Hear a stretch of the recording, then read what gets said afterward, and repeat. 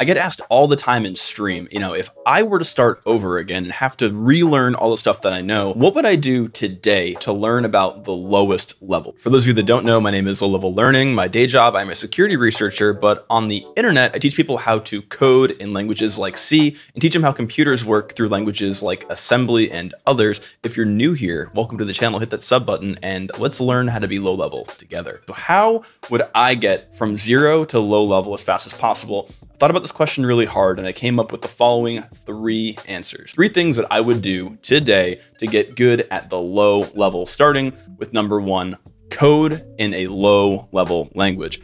This probably goes without saying, but if you know how to code right now, maybe you know how to code in Python or Ruby or God forbid JavaScript, I would say take that knowledge of programming and go and learn a language that gives you raw, unfettered access to the memory of your process space. And the language I recommend for that is the C programming language. I know there's a lot of talk, and I talk about this a lot on my YouTube channel. If C is the appropriate language for the future when it comes to systems programming, I think that Rust eventually will take over for C. We're not talking about that today. In this video, I want to talk about why C is the best language to learn with. Also, we're not going to get into the holy war of whether or not C is a high or low level language. For the purposes of this video, C is a low level language discussed in the comments. Learning to code effectively in C forces you to learn effective memory management. It forces you to learn how to write code that is bulletproof because if you don't, the code will just inherently be unsafe. There are lots of things you have to do in C to not leak memory, to not give your code access to hackers,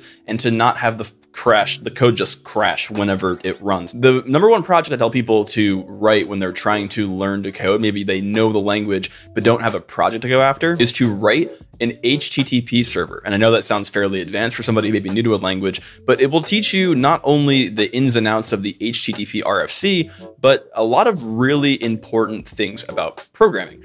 For example, when you're writing the HTTP parser, you have to not only write the code that adheres to the RFC, but then you also have to think of your code defensively. You're going to be in processing and reading code from literally anybody on the internet. You have to treat your code as if it's being attacked. You have to code defensively. Writing an HTTP server will allow you to get really familiar with how to read the documentation of a language. You're not just going to know the networking stack off the top of your head. You have to learn how to read man pages, read documentation, and read how return values work in the language of your choosing. I think learning C teaches you how computers work at a fairly high level. So go and take your programming knowledge and learn a language like C as step one. Step two, go learn an assembly variant. I'm not saying you have to be some wizard who can just look at an assembly blob and tell you exactly what's going on as fast as possible.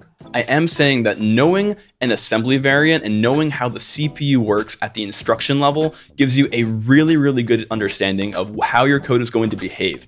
And also, if you can look at a blob of C and figure out basically how it's going to happen under the hood in the CPU architecture, it gives you a superpower in choosing what code you make and deciding how to design your code so that it performs better. The best way you can learn assembly right now is by taking this snippet of C code, and I'll put it in the description below, and go and compile that in C. If you can object dump this piece of code, go to the main function and reverse engineer how it works, you will learn the basic 101 of that CPU architecture, and that will give you a significant advantage on how things work. And number three, once you've learned how to code in a low level language, once you've begun to understand when you write that low level code, what architecture code gets spit out by the compiler and generally how that architecture works, I recommend learning the basics of reverse engineering. Now, this pays off in a number of ways. One, maybe your job is just a malware reverse engineer. Maybe you're a bug hunter looking for bugs and taking binaries apart.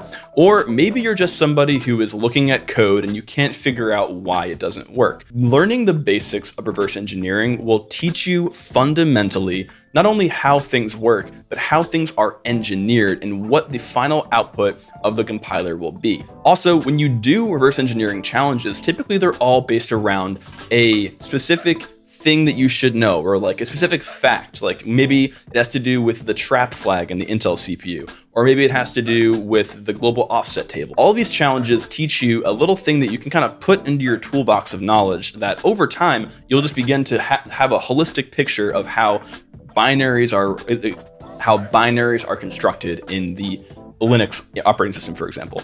And I highly recommend going to crackmes.one. This is not sponsored. This is not an ad. It's just a website that I like where there are people who write reverse engineering challenges and you can download them, run them on your computer, run them in a VM because you have no idea if the code is malicious or not. Um, but I think these challenges are really cool and an easy and fast way to learn the skills of reverse engineering and ultimately one of the lowest level techniques. And then finally, actually number four, secret bonus, um, I think that another way to get really good at level stuff is to pick up a board to learn to write C on that board. So this, for example, is an STM32. It's an ARM-based board. This is the STM32 F7 Nucleo.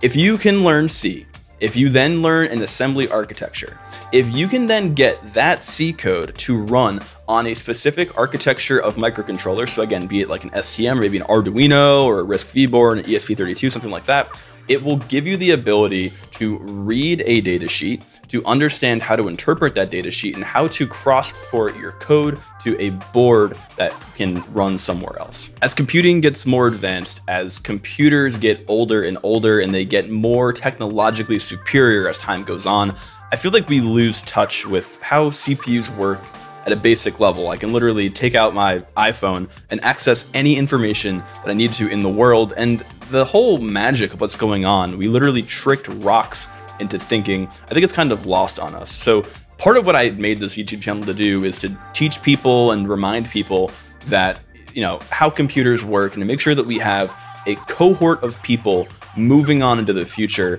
that once the graybeards of the world, the Linus Torvalds of the world that built these systems move on and possibly pass away, you know, we have the second generation of low-level architects that, that know how CPUs work. So if you think it's cool or you enjoyed this video or you want to be a part of that cohort, hit that sub button. Really appreciate it. And uh, yeah, we'll see you guys in the next video. You can go check out this other video that I made about an interview question that I got asked that was really cool. And it taught me actually a lot about how CPUs work. You can go find that out right there. See you guys.